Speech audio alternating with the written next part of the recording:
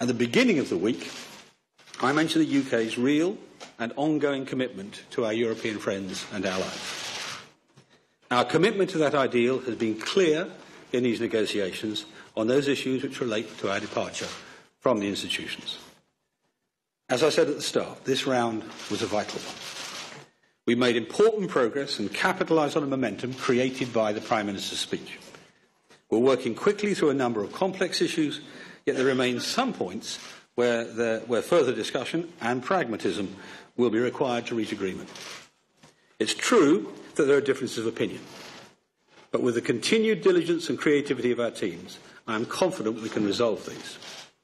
While the UK's departure from the European Union is inevitably a complex process, it's in all our interests for these negotiations to succeed. We must never forget the bigger picture.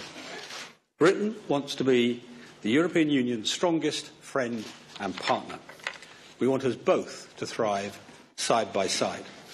I leave Brussels optimistic about this future and I look forward to continuing the negotiations. Thank you.